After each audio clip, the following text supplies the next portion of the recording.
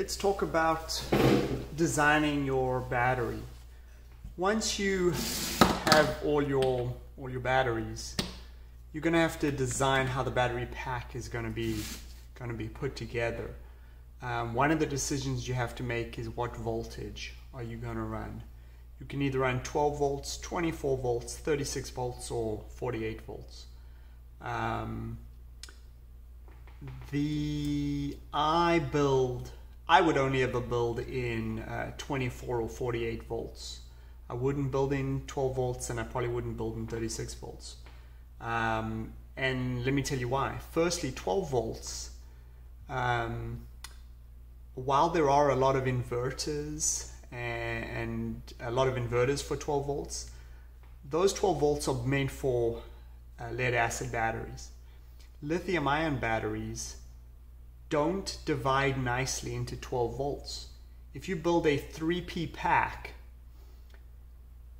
you'll hit 12 volts fully fully um, fully charged, but fully discharged they go down. A 3P pack will go down to 9 volts, which is below what most inverters will let you get to. So you're never going to be able to get all the energy out of the batteries in a 3P configuration. If you do a 4P configuration, um, that means fully discharged it'll get down to about 12 volts which is fine but the problem is fully charged it'll be 16 volts. And again a 12 volt inverter is not going to like 16 volts.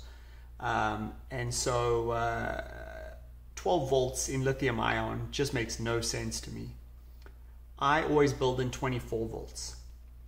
24 volts means that fully charged your pack will be 29 volts and fully discharged your pack will be about 20 21 volts.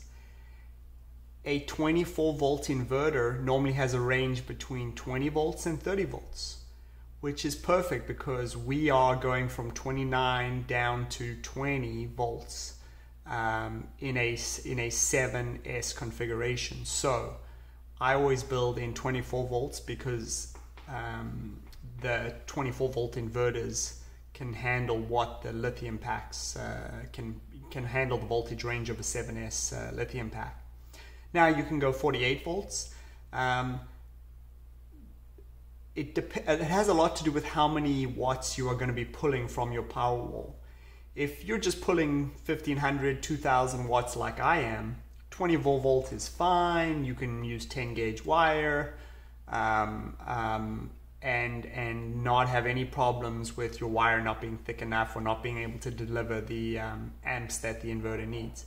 If you start trying to do a 4,000 watt power wall um, at 24 volts, you are asking for a lot of amps. You're starting to ask for you know 100 and you know probably 150 amps. That is a lot of amperage, and you're going to have to run some really thick wires to deliver 150 amps um, continuous so at that point, you would probably, if you're trying to pull 4,000 watts, you're better off with a 48 volt um, pack because then it'll be under 100 amps and you can go back to some reasonable gauge wire. Wiring, the wire size is directly dependent on the amps you are trying to pull, not the voltage. The wire doesn't really care about the volts, it only cares about the amps. So um, the more volts, the, the less amps you need, and the smaller the wire you can get away with. Okay, so you pick your um, you pick the voltage range that you're gonna gonna use 12, 24, 36, 48. Um, then you then it's a, a, a, matter of factoring how many batteries you have. I have around 600 batteries. I know I want to do 24 volts. Um, which means if I build in 80 battery packs, um, 80 times 7 is 560. So uh, my 600 batteries will be perfect if I do a 7S 80P battery. I'll use 560 batteries, which works out beautifully. Um, so, and another nice thing about doing an like 80 in parallel is uh, these these um, 18650 holders coming, these are 20 battery segments. So four of these together is 80. This is a perfect Um, it, the numbers just work out perfect where 80 batteries in 7S gets uses my uses up all the batteries I have and um, fits nicely into one of these holders. Um, couple things I want to say. Don't um, if your batteries, you know, depending on how many batteries you have to start, um, you you got to think about your power wall. If you only have 300 batteries to start, that just doesn't build much of a power wall. And so the question becomes do you build the power wall with 300 batteries or do you build the power wall knowing that you'll have to get more batteries later and maybe you you use those 300 batteries to build only half of your packs and then you acquire more packs later, more batteries later. Um, you're really going to need a few kilowatts in your power wall to make your power wall um, before I would even consider it a reasonable power wall. So again, um, these 600 batteries will be about six kilowatts, and that's a that's a decent size for a, for a starting power wall. Um, um, so you know, think about how many batteries you have and, and the configuration you want to use. The other thing is wiring the batteries. This is a battery pack for a small portable solar generator. This is already wired in 7S configuration within the pack. Okay, this pack is, this is these batteries series up to these batteries, which series up to these batteries, which series up to these batteries, and then it becomes 24 volts across this one pack. This is great for a solar generator, but don't build your power wall like this.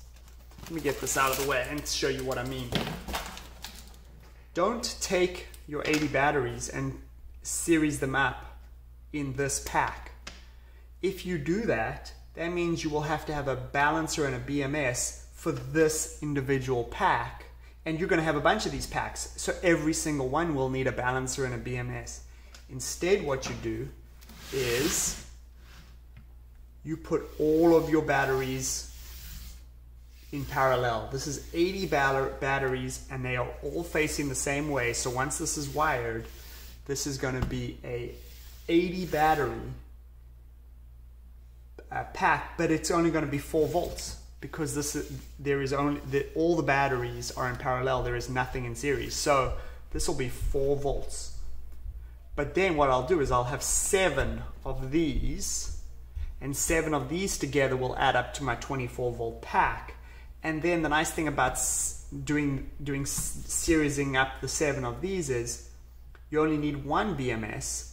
You connect each balance lead to each one of the seven packs and the balancer will balance each pack. It'll treat all 80 batteries as though they are one large battery. So by you series up seven large individual batteries to get your 24 volts. Do not try and put 24 volts together on this pack and then maybe parallel them up, that's a horrible idea because you will have to balance each one then and each one will need a BMS. Just series up one big pack. Uh, no, just, just treat each individual pack as fully in parallel.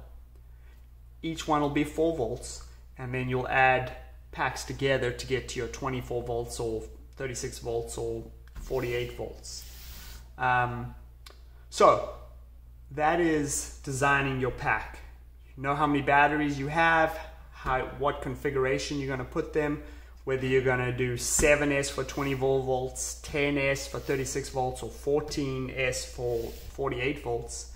Um, you know your design, you know your configuration, you get your 18650 holders, you clip them together in the configuration you've decided on, and you start to assemble your packs.